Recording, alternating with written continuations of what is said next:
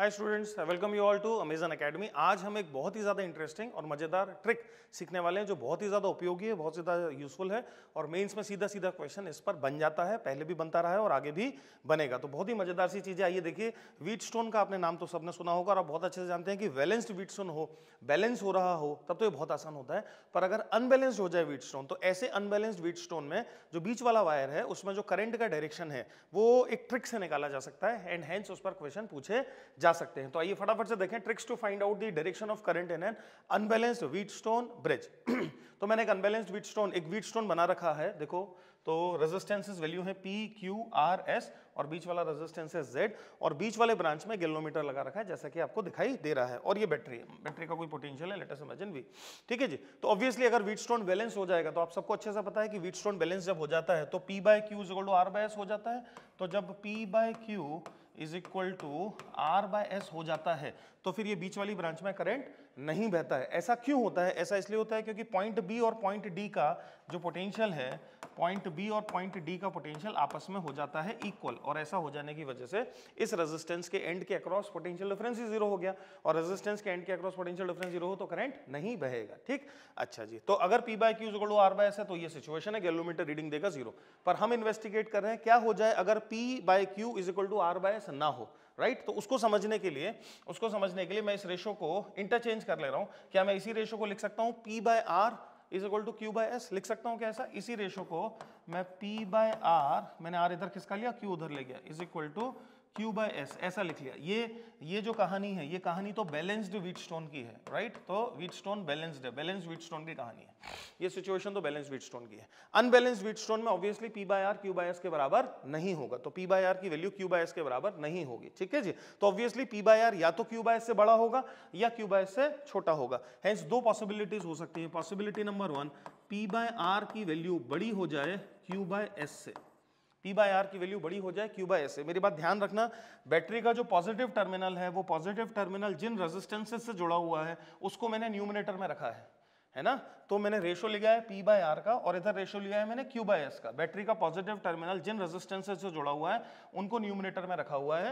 Hence जो B junction पर ratio मैंने बनाया है, वो है पी बाय आर का और डी जंक्शन पर जो रेशो बनाया है, वो है क्यू बाय एस का। जो ट्रिक है, वो ट्रिक ये है कि अगर आप बैटरी के पॉजिटिव टर्मिनल से जुड़े हुए रेजिस्टेंस को न्यूमिनेटर में रख रेशो निकालते हो और ऐसा रेशो बी जंक्शन और डी जंक्शन पर निकालते हो तो current will always move from lower ratios to higher ratio तो बी और डी पर हमने जो रेशो निकाला है रेजिस्टेंसेस का, उसमें से जो लोअर जो लोअर रेशो होगा, उससे हायर रेशो की तरफ़ करंट फ्लो करेगा। तो अगर पी बाय आर की वैल्यू क्यू बाय एस से बड़ी हुई है ना? That means Q by S की वैल्यू छोटी है तो करंट किधर से किधर फ्लो करेगा? करंट डी से बी फ्लो करेगा तो करंट का जो फ्लो होगा फ्रॉम डी टू बी होगा। इसको ट्रिक की तरह दिमाग में रखें, बहुत ज़्यादा यूजफुल है। एंड सिमिलरली दूसरा जो केस हो सकता है, दूसरा केस हो सकता है, भाई पी बाय आर की जो वैल्यू है, वो छोटी है क्यू बाय एस से। तो अब लेसर वाला रेशो किधर बना? पी बाय आर पर। तो करंट किधर से किधर चलेगा? बी से डी चलेगा। ऐसी परिस्थिति में करंट का जो फ्लो होगा, वो होगा फ्रॉम बी टू डी क्या मेरी बात समझ पा रहे हैं? ऑब्वियसली अगर P by R is equal to Q by S हो जाए तो करंट का फ्लो होगा ही नहीं गैल्वोमीटर देगा रीडिंग ज़ीरो चूँकि गैल्वनोमीटर डायरेक्शन ऑफ़ करंट बताता है हेंस गैल्वोमीटर को अगर हम यहाँ लगा दें तो फिर हमसे वो इस तरह की बातें पूछ सकता है कि बताओ करंट किस डायरेक्शन में फ्लो कर रहा होगा? करंट बी से डी फ्लो कर रहा होगा या करंट डी से बी फ्लो कर रहा होगा? इनफैक्ट इस कंसेप्ट का बहुत ज़्यादा इस्तेमाल हम करते हैं मीटर ब्रिज में, जहाँ पर हमें नल पॉइंट ढूंढना होता है। इसका बहुत ज़्यादा यूज़ होता है मीटर ब्रिज में। तो मान लेते हैं कि मैं मीटर ब्रिज का इसका जो एप्लीकेशन है, फिर मैं क्वेश्चन भी कराऊँगा इस पर। मान लेते हैं कि ये मेरा मीटर ब्रिज है और ये मेरा वायर है है ना भाई? ये मेरा वायर है और जो स्टैंडर्ड रेजिस्टेंसेज हैं, वो स्टैंडर्ड रेजिस्टेंसेज हैं। एक ये रहा और एक रेजिस्टेंस ये रहा ऐसे और आपने गैलोमीटर ये रहा गैलोमीटर और जॉकी से आपने कहीं वायर में टच किया और जो बाहर से बैटरी लगी हुई है, वो बाहर से बैटरी ऐसे लगी हुई है। इस प्रकार से लगी हुई है, ऐसे। क्वेश्चन आपसे कहेगा कि मान लेते हैं ऐसा कुछ है क्वेश्चन कहेगा कि जॉकी को मैंने ठीक mid point of the wire पर टच किया और मैंने ये पाया कि गैल्वेनोमीटर में जो करंट है, वो मीटर मीटर वायर से मीटर ब्रिज से ऊपर की तरफ़ बह रहा है। दैट मीन्स अगर मैं इन जंक्शंस को नाम दे दूँ, वही नाम दे दूँ बी और डी सपोज़ इसको नाम दे दूँ बी और इसको नाम दे दूँ डी राइट तो क्वेश्चन कह रहा है कि मैंने जो जॉकी है, उस जॉकी को 50 सेंटीमीटर मार्क पर टच किया 50 सेंटीमीटर मार्क पर टच किया। समझ लो ये मीटर मीटर स्केल यहाँ पर एक स्केल लगा हुआ है राइट तो यहाँ लिखा है ज़ीरो और फिर ऐसे ऐसे ऐसे ऐसे ऐसे रीडिंग है हंड्रेड सेंटीमीटर तो मान लेते हैं जॉकी को 50 सेंटीमीटर मार्क पर टच किया नल पॉइंट हम ढूंढ रहे हैं। नल पॉइंट मतलब गैलोमीटर का ज़ीरो डिफ्लेक्शन पर गैलोमीटर में ज़ीरो डिफ्लेक्शन नहीं आया है। और करंट करंट मान लेते हैं डी से बी की तरफ़ जा रहा है। तो 50 सेंटीमीटर मार्किंग पर current in the galvanometer is found to flow from D to B आपसे क्वेश्चन केवल ये पूछ रहा है कि बताओ null point null point D point के लेफ़्ट में होगा दैट मीन ज़ीरो से फिफ्टी सेंटीमीटर के बीच होगा, या फिफ्टी सेंटीमीटर से हंड्रेड सेंटीमीटर के बीच होगा। नल पॉइंट कहाँ होगा? ये बताइए, है ना भाई? तो देखो तो अगर करंट डी से बी जा रहा है तो अभी मैंने आपको बताया बैटरी का पॉजिटिव टर्मिनल देखो कहाँ लगा हुआ है। है, जब हम बी जंक्शन पर रेशो निकालेंगे तो इन दोनों का रेशो आएगा। मान लेते हैं ये रेजिस्टेंस आर वन है रेजिस्टेंस आर टू है तो बी जंक्शन पर रेशो आया R one by R two का। और और इस समय अगर लेंथ एल है, ये लेंथ अगर एल है तो यहाँ रेशो होगा L divided by hundred minus L का। वो आप जानते हैं रेजिस्टेंस लेंथ के प्रोपोर्शनल है रेजिस्टिविटी दोनों की सेम है। और चूँकि करंट डी से भी जा रहा है करंट लोअर रेशो से हायर रेशो की तरफ़ जाता है, इसका मतलब है कि डी जंक्शन पर जो रेशो बन रहा है वो लोअर है, है इस समय डी जंक्शन पर रेशो बढ़ाना पड़ेगा और रेशो बढ़ाने के लिए जॉकी को किधर मूव कराना पड़ेगा? राइट वर्ड या लेफ़्ट वर्ड बोलो फटाफट जॉकी को किधर मूव कराएँगे? राइट वर्ड हेंस क्वेश्चन आपसे केवल इतना पूछेगा कि बताओ नल पॉइंट 50 सेंटीमीटर ज़ीरो और 50 सेंटीमीटर के बीच लाई करेगा या 50 सेंटीमीटर और 100 सेंटीमीटर के बीच लाई करेगा? जॉकी को किधर मूव कराएँ? राइट वर्ड या leftward to obtain the null point तो इस एग्जांपल में जॉकी को हम राइट वर्ड मूव कराएँगे। मान लेते हैं क्वेश्चन हमसे कहता है कि अब हमने जॉकी को 75 सेंटीमीटर पर टच किया। सपोज़ और 75 सेंटीमीटर पर टच करने पर गैलोनोमीटर में जो करंट है, वो बी से डी जा रहा है, उल्टा जा रहा है बी से डी जा रहा है।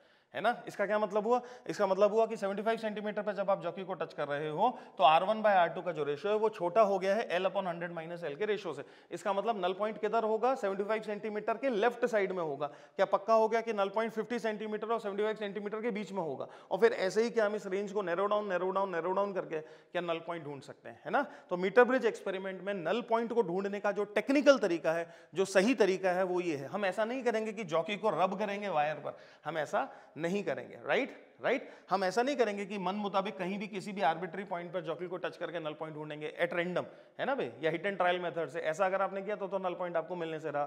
तो उसका एक सेट तरीका है, एक सिस्टमैटिक अप्रोच है सिस्टमैटिक तरीका है, जो कि अनबैलेंस वीट स्टोन में करंट फ्लो के डायरेक्शन की मदद से सॉल्व होता है राइट तो मीटर ब्रिज पर बेस्ड भी चीज़ें आपसे पूछी जा सकती हैं सीधे सीधे अनबैलेंस वीट स्टोन पर चीज़ें पूछी जा सकती हैं। तो दो एप्लीकेशन बता रहा हूँ मैं। सीधे सीधे अनबैलेंस वीट स्टोन पर भी क्वेश्चन बनेंगे और ऐसे मीटर ब्रिज पर भी क्वेश्चन बनेंगे। आईटी ने कई बार पूछ लिया है मीटर ब्रिज देके क्वेश्चन क्योंकि ये सब बच्चों को नहीं पता होती है बात। बड़ा इंपॉर्टेंट टूल है, बड़ी इंपॉर्टेंट ट्रिक है। तो आइए फटाफट से कुछ क्वेश्चन को देखें। ओरल ओरल आप मेरे साथ फटाफट क्वेश्चन करेंगे। क्या क्या स्टेप्स हैं? सबसे पहले हम क्या देखेंगे? सबसे पहले हम देखेंगे बट बैटरी का पॉजिटिव टर्मिनल किससे जुड़ा हुआ है? और फिर ये जो जंक्शन है पी और क्यू इसमें न्यूमिनेटर में किसको रखेंगे? जो रेजिस्टेंस बैटरी के पॉजिटिव टर्मिनल से जुड़ा हुआ है। दैट मीन पी जंक्शन पर जो रेशियो लिखोगे आप, वो क्या लिखोगे? Three R by eight R या eight R by three R eight R by three R hence P junction पर जो रेशियो है, वो है एट बाय थ्री का। पी जंक्शन पर रेशियो है एट बाय थ्री का। सही है भाई? और क्यू जंक्शन पर जो रेशो है क्यू जंक्शन पर जो रेशो है, वो है टू बाय थ्री का। कौन रेशो बड़ा है? एट बाई थ्री बड़ा है। हेंस करंट किधर से किधर जाएगा? लोअर रेशो से हायर रेशो की तरफ़ जाएगा। हेंस इस ब्रांच में करंट कहाँ से कहाँ जाएगा? क्यू से पी की तरफ़ जाएगा। ध्यान रखना है, केवल बीच वाले सेक्शन में करंट की बात कर रहा हूँ मैं। तो करंट का जो फ्लो है क्वेश्चन पूछ भी रहा है पी क्यू वाले वायर में करंट का फ्लो बता दो। किधर से किधर? क्यू पॉइंट से पी पॉइंट की तरफ़। खत्म हो गया क्वेश्चन ओरल क्वेश्चन है। खत्म हो गई कहानी। अगला क्वेश्चन देखो। फिर कह रहा है कि in the given circuit find the direction of current in the branch P Q फिर देखो बैटरी का पॉजिटिव टर्मिनल कहाँ कनेक्टेड है? पी जंक्शन पर बैटरी के पॉजिटिव टर्मिनल से जो रेजिस्टेंस जुड़ी हुई है, उसको न्यूमिनेटर में रख के रेशो निकालो। कितना रेशो बना? वन बाय टू का। सिमिलरली क्यू पॉइंट पर पॉजिटिव टर्मिनल से जोड़ जोड़ा है, उसको ऊपर रख के रेशो निकालो। कितना रेशो बना? सेवन बाय नाइन का। फटाफट से सेवन बाय नाइन की वैल्यू निकालो, जो कि पॉइंट सेवन सेवन के आसपास आएगी। तो this is point seven seven and this is obviously point five current किधर से किधर? लोअर रेशो से हाई रेशो की तरफ़। है सबकी बार करंट किधर से किधर चलेगा भाई? पॉइंट पी से पॉइंट क्यू की तरफ़। आए ना मज़ा? कितना आसान है, कितना ईजी है। पॉइंट बी से पॉइंट क्यू की तरफ़। ओरल क्वेश्चन अगला क्वेश्चन देखो। अब देखो, मैंने इसमें चालाकी कर दी है थोड़ी सी। मैंने बैटरी के टर्मिनल पलट दिए हैं, क्योंकि आपको आदत पड़ गई कि इधर वाले रेजिस्टेंस को ऊपर रखना। मैंने बैटरी को उल्टा कर दिया बैटरी का पॉजिटिव टर्मिनल कौन सा है ये?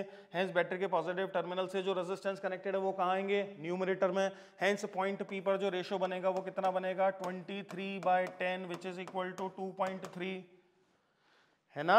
और Q पॉइंट पर जो रेशो बनेगा, वो कितना होगा? वो होगा 17 डिवाइडेड बाय 14 और 17 बाय 14 की जो वैल्यू है अप्रोक्सीमेटली वो आएगी 1.21 करंट किधर से किधर? लोअर रेशो से हाई रेशो की तरफ़। हेंस करंट जाएगा फ्रॉम Q टू P तो इस क्वेश्चन का आंसर हो गया कि करंट का flow will take place from point Q to point P सही बात है? करेक्ट है? समझ में आ रही है बात? बहुत आसान है। और लास्ट क्वेश्चन अगला, इसका एग्ज़ाम्पल देखो। अगेन बैटरी का पॉजिटिव टर्मिनल देखो कहाँ कनेक्टेड है। बैटरी के पॉजिटिव टर्मिनल से जो रेजिस्टेंस कनेक्टेड है, उनको न्यूमरेटर में रखेंगे अपन। तो पी पर जो रेशो बनेगा, वो देखो रेशो क्या बनेगा पी पर? पी पर रेशो बनेगा एट बाय सिक्स का। तो eight by six which is कितना? Four by three which is one point three three का रेशो बना। कहाँ पर? P पॉइंट पर। और Q पॉइंट पर जो रेशो बनेगा, वो कितना बनेगा? वो है 19 बाय 11 का। और 19 बाय 11 की अप्रोक्सीमेट वैल्यू अंदाजन वैल्यू अगर अपन लिखेंगे तो वो कुछ 1.72 के आसपास 19 बाय 11 1.72 के आसपास आएगी। करंट किधर से किधर? लोअर रेशो से हाई रेशो की तरफ़। हैंस लोअर रेशो है 1.33 हाई रेशो है 1.72 खत्म हो गया, खटाक। करंट फ्लो करेगा P से Q की तरफ़। बात ही खत्म हो गई। आंसर हो गया P से Q फटाफट फटाफट नंबर मुझे मिल गए। बड़ा यूजफुल है और हो सकता है आप एग्ज़ाम लिखें तो आपको खासकर मेंस में इक्का दुक्का क्वेश्चन ऐसा फंस जाए जिसमें वो पूछेगा। बहुत फ्रीक्वेंटली पूछा जाता है। तो आज जो ट्रिक आपने सीखी है उसका इस्तेमाल आपको पेपर में होगा। एक क्वेश्चन दैट मीन चार नंबर आपको इस छोटी सी ट्रिक से मिलने वाले हैं। ठीक है बच्चों? तो इसी तरीके से हम और आगे भी ट्रिक लेकर आपके साथ आते रहेंगे। खूब मेहनत करें, दिल लगाकर काम करें। Keep working very hard thank you very much